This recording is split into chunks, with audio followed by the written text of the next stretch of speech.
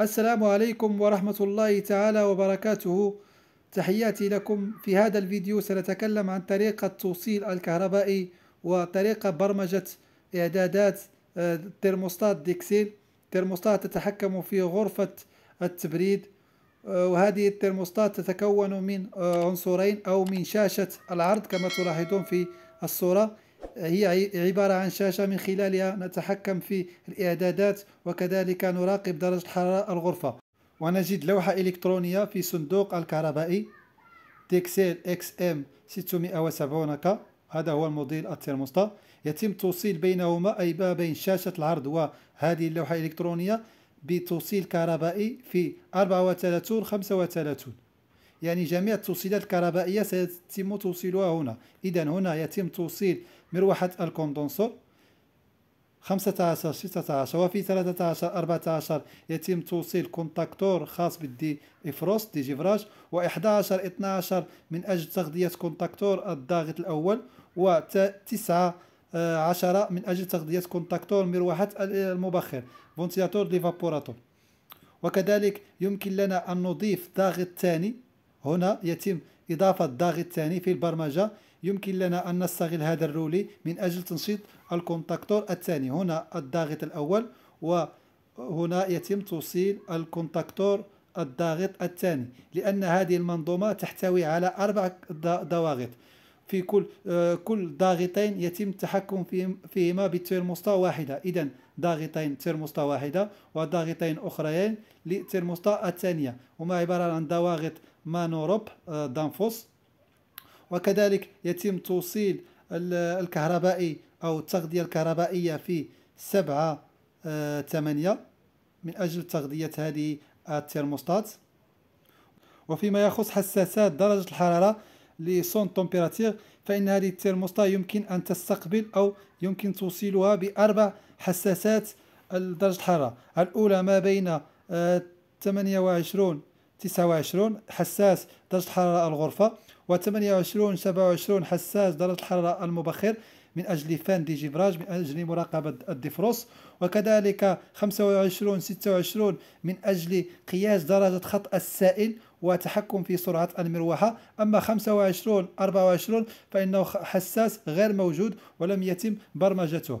وهنا نجد مداخل رقمية les entrées numériques هي من أجل حماية الوحدة التبريد. يعني مثلا في 32 33 يتم توصيل مفتاح الضغط المنخفض يعني DI واحد. وكذلك نجد ما بين 32 و 31 يتم توصيله مع مفتاح الضغط المرتفع DI 2 و DI 3 يعني المدخل الرقمي الثالث 32 30 من أجل fin de course de porte يعني مفتاح الباب. في حالة فتح باب الغرفة يتم إيقاف مروحات المبخر لبعض الوقت وفي حالة آه، آه، طال هذا الوقت يتم إيقاف كذلك الكمبريسور يعني من خلال هذه المداخل الرقمية يتم التحكم في المنظومة وكذلك حمايتها. سنعود إلى الشاشة الرقمية. لمعرفة كيف يتم التعامل مع الترموستات.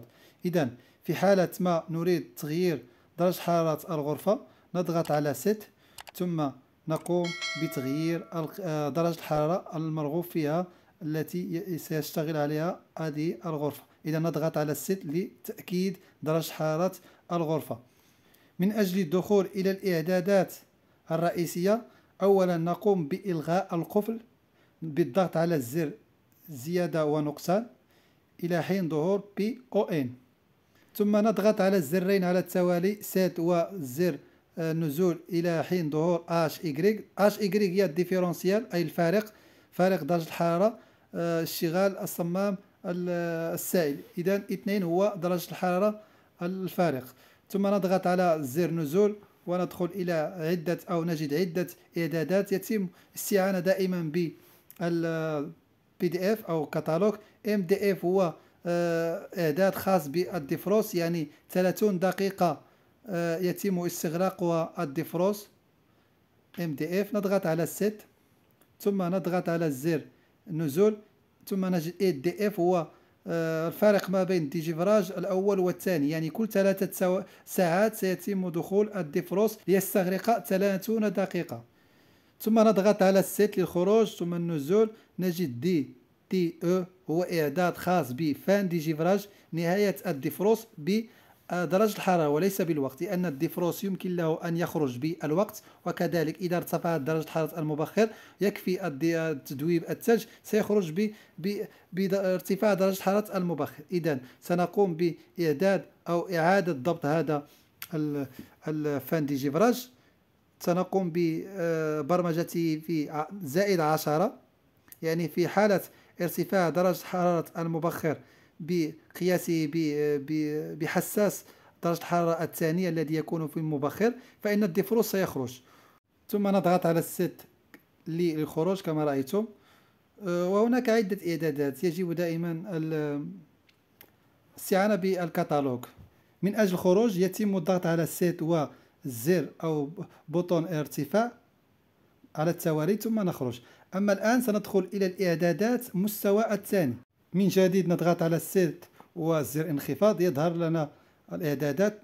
ننزل إلى PR 2 ثم نضغط على ال set ونقوم بالضغط على آه، ال set كذلك لإدخال الرقم السري وهو 3 2 1 هو رقم سري أو password standard في جميع ال Dixell يمكن لنا أن ندخل بهذا الرقم أو هذا ال password. إذا 3 2 1 نضغط على ال set وهنا نجد كذلك جميع الإعدادات جميع الإعدادات الممكن إيجادها سنجدها في المستوى الثاني. أما المستوى الذي دخلناه في في بداية الفيديو هو المستوى الأول. يمكن لنا أن لن نجد بعض الإعدادات. نفس الطريقة نضغط على set وزر ارتفاع من أجل الخروج.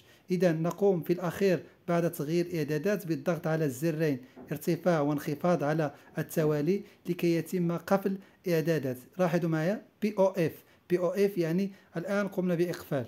ميزة إقفال الترموستا هي ميزة جيدة من أجل حماية الغرفة. يعني من أجل الحماية من أي أحد دخول أو ولوج إلى الإعدادات وتغييرها ويبقى الفني العارف أو الذي يتمكن من هذه الترموستات هو الذي يتم أو هو الذي يقوم بتغيير الإعدادات. أتمنى من كل مشاهد جديد أن يقوم بالاشتراك معنا بالضغط على زر اشتراك وكذلك لا تنسوا اللايك للفيديو تشجيعا لكم منا على الاستمرارية وتحياتي لكم.